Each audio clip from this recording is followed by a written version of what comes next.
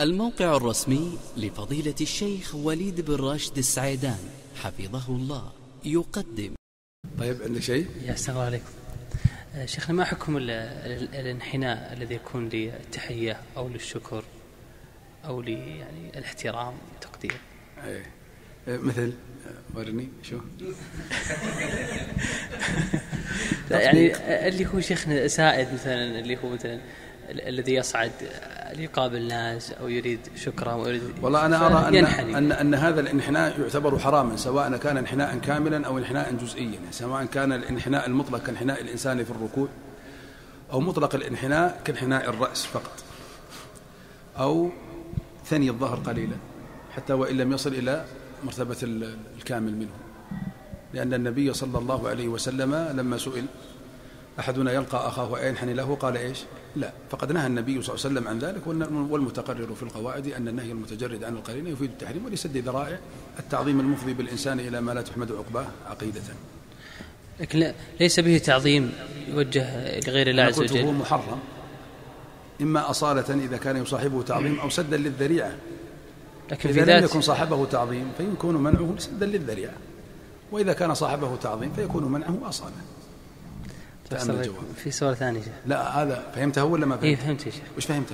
فهمت ان فهمت مجاملة ولا مقتنعه؟ لا فهمت مقتنعا لأن ال- أه، ماذا فهمت؟ إذ أن الانحناء يعني في في ذاته في ذاته محرم أما. أن صحب في قلب إن صاحبه تعظيم فيكون منعه منع أصالة إيه؟ وإن لم يصاحبه تعظيم فيكون منعه منع سد ذريعة. مثل الكتابة على القبر بعض الناس يقول أنا أكتب تاريخ نقول لا إن كنت تكتبه تعظيما فهذا ممنوع وإن كنت لا تكتبه تعظيما فهو ممنوع من باب سد الذرائع. فكل دليل ثبت فيه النهي فقد يكون منعه منع أصالة إذا صاحبته العلة ويكون منعه منع سد ذرائع إذا لم تصاحبه علته. يعني مثلا من تشبه بقوم فهو منهم ما علته؟ حتى لا يكون الإنسان متوائما معهم في الباطن فإن المشابهة في الهدي الظاهر توجب موائمة وموافقة في الهدي الباطن. طيب يقول واحد أنا أتشبه بس يعني ما, ما في قلبي إلا بغضهم. نقول خلاص انتهينا.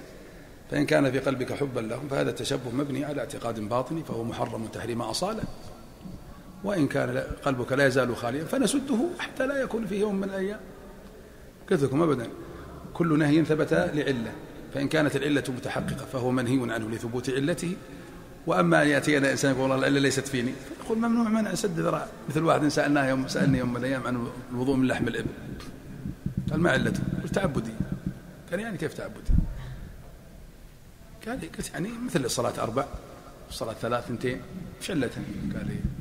قال يعني ما ذكروا عله ابدا أنا بيقطع النقاش أنا بيقطع النقاش أنا رجل عام. أبي يقطع النقاش لكن إلا حد. قلت شوف يا شيخ علتها اذهاب القوة الشيطانية. هو يريد هذا. حتى يزكي نفسه أن العلة غير موجودة فيه. أي ولذلك سأعطيكم فائدة. من أعظم الفوائد. وهي أن الأحكام الشرعية تربط بعللها لا بالحكمة منها. تربط بعلتها لا بحكمتها. ولي فيها رسالة مختصرة.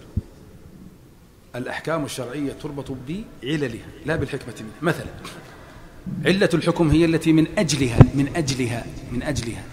قرر الحكم. طيب والحكمة هي الغاية والثمرة من الحكم. إيش؟ العلة هي مناط الحكم. والحكمة هي ثمرة الحكم. الناس يربطون الأحكام بثمراتها وينسون إيش والقاعدة تقول الأحكام الشرعية تربط بماذا؟ بعللها لا بثمراتها. يعني مثلا أضرب لكم أمثلة أمث- أضرب لكم أمثلة مختصرة من باب التوضيح. آه، الم- ال- ال- المحرم في السفر. بالنسبة للمرأة علة وجوب المحرم هو كونها سافرت. إذا العلة سفر سفر. طيب الحكمة منه حفظها ورعايتها. طيب هل كل امرأة في السفر تحتاج إلى الحفظ والرعاية؟ في بعض الحريم بطلة تراعي لها عشرة رجاجيل. أن بعض النساء تقول أنا لا أحتاج. أو أن السفر آمن. فإذا هي تعلل فوات الحكم بفوات حكمته في حقها. مع أن السفر الذي هو مناط الحكم موجود.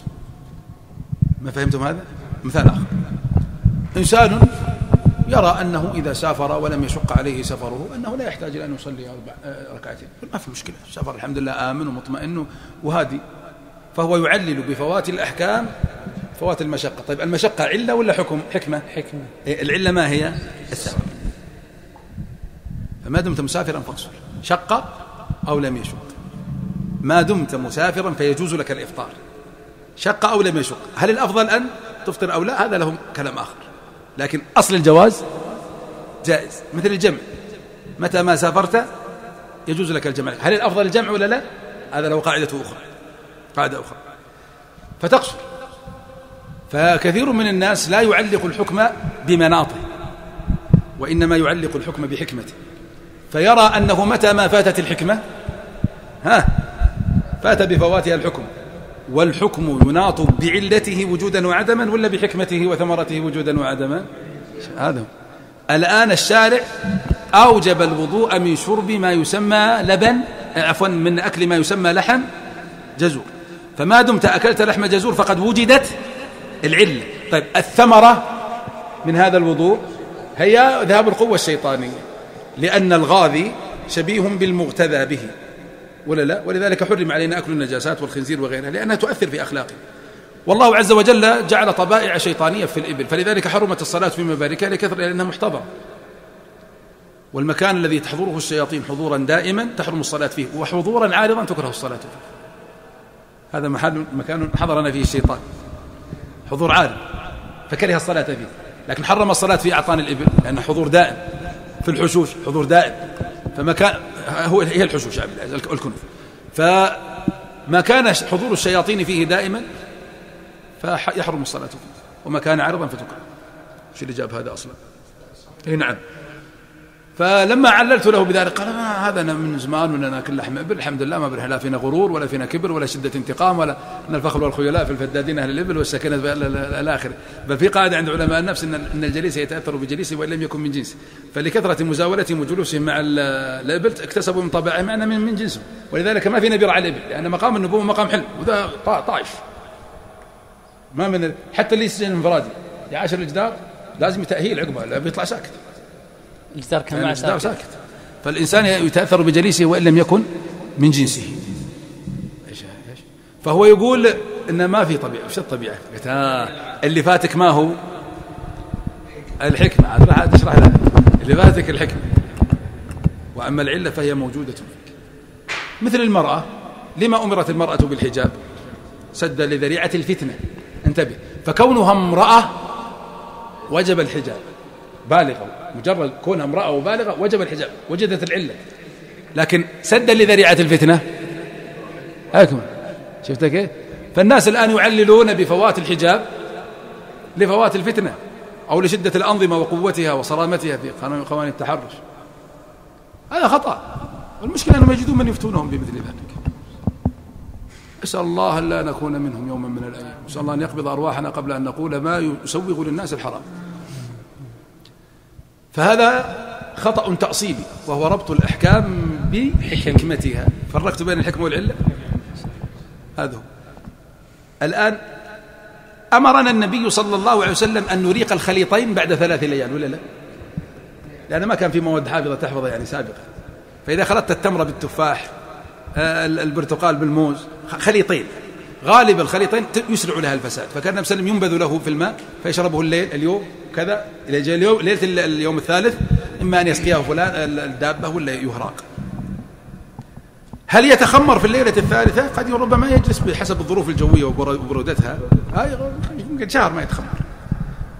وقد أحيانا يتخمر في في يوم. فلذلك لا ما تربط وإنما تربط بمجرد الأيام ثلاثة أيام. أو يومين وليلة. لا تنظر بعد ذلك هل هو تخمر أو لم يتخمر. هذا الذي أدين الله عز وجل به فاللي جاب هذا الكلام هو الس... إيش اللي جاب هالكلام؟